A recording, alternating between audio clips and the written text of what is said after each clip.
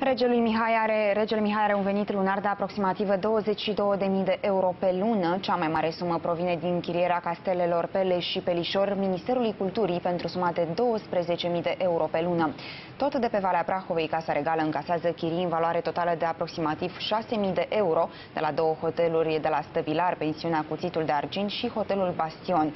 Toate aceste sume sunt impozabile, iar din ele Casa Regală trebuie să întrețină inclusiv proprietățile pe care le are în folosință, dar nu îi aparțin, precum Palatul Elisabeta din București sau renovarea Castelului Săvârșin. Regele Mihai are o pensie de 1000 de lei, o indemnizație de fost șef de stat de 4000 de lei și una de membru al Academiei Române, valoare de 2000 de lei. Regimul privat